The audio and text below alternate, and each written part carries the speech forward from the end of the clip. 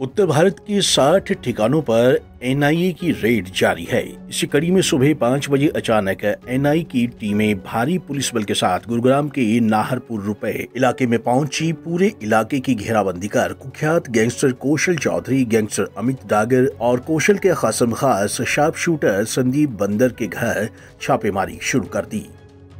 तकरीबन सात घंटे की रेड के बाद एनआई की टीमें गैंगस्टर कौशल चौधरी, गैंगस्टर अमित दागर और कौशल के शार्प शूटर संदीप उर्फ़ बंदर के घरों से संदिग्ध चीज़ों को सीज कर बाहर निकली। हालाँकि हमारी टीम ने उनसे जानने की कोशिश की, लेकिन एनआई की किसी अधिकारी ने कोई बयान नहीं दिया और सीधे गुरुग्राम के मुख्यालय के लिए निकल गए।